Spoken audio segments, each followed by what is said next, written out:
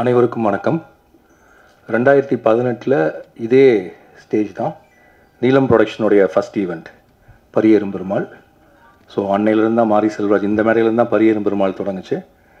And நீலம் ப்ரொடக்ஷனும் தொடங்குச்சு. இன்றைக்கி நவ்வி ஸ்டூடியோவும் வாழையும் இந்த இடத்துல தான் தொடங்குது. And apart from that Ranjith உங்கள் ஹேர் ஸ்டைல் எனக்கு ரொம்ப பிடிச்சிருக்கு. ரொம்ப நல்லா இருக்குது அண்ட் பரியேறும் பெருமாளுக்கும் நன்றி நீலம் ப்ரொடக்ஷனுக்கும் நன்றி.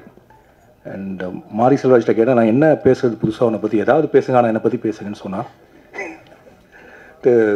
என் கூட ஏழு கடல் ஏழு மலை யாராவது ரொம்ப நாள் ஏறி இறங்கியிருக்காங்கன்னா அது மாரி செல்வராஜ் தான். இது முத முதல்ல ஏறின மலை அப்படின்னா நார்வேல் டிஸ்ட்ரிக்டில் இருக்கக்கூடிய எல்லா மலையும் நாங்கள் ஏறி இறங்கணும். அது தங்க மீன்களுக்கு லொக்கேஷன் தேடி. அப்போ கண்டுபிடிச்சி அவங்களோட மலை சுவாரஸ்யமாக இருந்துச்சு. ஏன்னா ஒரு பள்ளத்தாக்களவு கதை கொட்டி கிடக்கும். அவன் சொன்ன காதல் கதையை எடுத்தால் எடுத்துகிட்டே இருக்கலாம்னு நினைக்கிறேன். அதில் ஒரு சின்ன பீஸை ஒரு பால்யத்தை பால்யத்தில் இருந்த ஒரு ஒரு க்ரஷ்ஷை எந்த கிரிஞ்சும் இல்லாமல் ஒரு படம் பண்ணியிருக்கான். அதான் வாழை அப்படின்னு நான் நினைக்கிறேன். அண்ட் அதுக்கடுத்து மலை ஏறினதுன்னா ரெண்டாயிரத்தி ஒம்பது பத்து ஆனந்தயாலை அந்த ஆனந்தயாலை மலை அச்சன் கோவில் வெஸ்டர்ன் கார்ட்ஸோட இன்னொரு இடம். அதில் டென்ட் எடுத்துகிட்டு போகிறப்பவும் சரி ட்ரெக்கிங் போனப்பவும் சரி நைட் மழை பெஞ்சு அடுத்த நாள் ஷூட்டிங் நடக்குமா நடக்காதான்னு பயந்து நைட்டில் நான் தூங்காமல் உட்காந்துருக்கப்ப என் கூட உட்காந்துருந்தப்பவும் சரி மாரி செல்வராஜ் எனக்கு கிடைச்ச பெரிய துணைவன் எ கம்பேனியன் அண்ட் அவருக்கு இருக்க தைரியத்தில் எந்த மலையில் வேணாலும் ஏறலாம் இறங்கலாம்.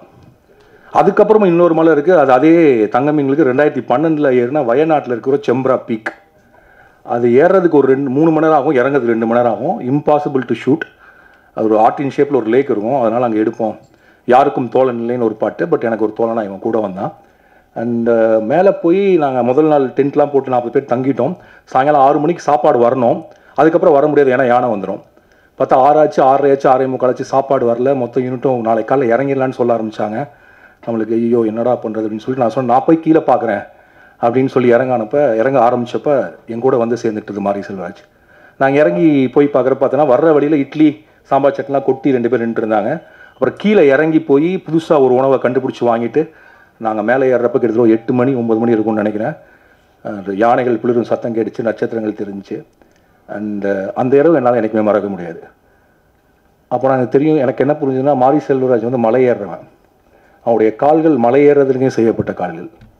அவன் கரெக்டாக எந்த கல்லில் கால் வைக்கணும் எந்த கல்லில் கால் வைக்கக்கூடாது அப்படின்னு தெரிஞ்சவன். எவ்வளோ எதிர்காத்து அடித்தாலும் ஏறக்கூடியவன். அண்ட் மலை ஏறுவதுங்கிறது கிட்டத்தட்ட சொல்லப்போனால் அவனுடைய ஜீனில் இருக்குது அப்படின்னு நான் நினைக்கிறேன்.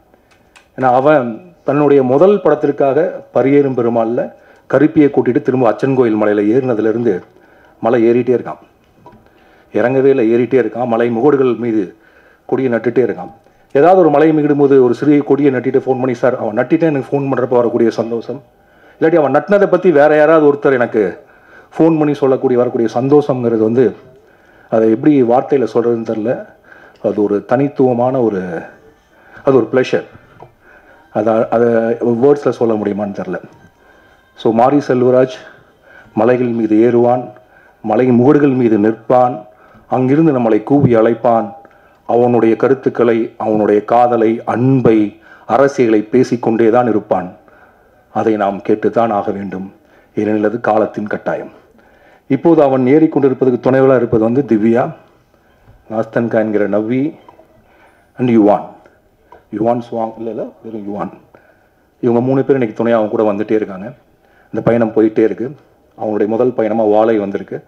அண்ட் சந்தோஷ் நாராயணன் வந்து பரியேறும் பெருமாள் பார்த்துட்டு ஃபோன் பண்ணார். ஃபோன் பண்ணி பயங்கரமாக ரொம்ப நேரம் பேசிகிட்டு இருந்தார். அதுக்கப்புறம் அவர் ஃபோன் பண்ணது வந்து வாழைக்கு. பரியேறும் பெருமாளோட பயங்கரமாக பேசினார். அண்ட் uh, எனக்கு ரொம்ப பிடித்த கதைகளில் வாழை ஒன்று வாழை ஏன் ஒன்றுன்னு சொல்கிறேன்னா இன்னும் நிறைய கதைகள் இருக்குது இந்த வாழை நம்மை வியப்பில் ஆழ்த்தும்.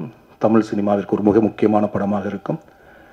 மாரி செல்வராஜ் அவருடைய நவ்வி ஸ்டூடியோஸ் இன்னும் கண்டுபிடிக்கப்படாத பல குன்றுகளையும் மலைகளையும் நமக்கு காட்சிப்படுத்தும் பல இயக்குநர்களை அறிமுகப்படுத்தும் என்று நான் நம்புகிறேன். அதற்கு என்னுடைய வாழ்த்துக்கள்.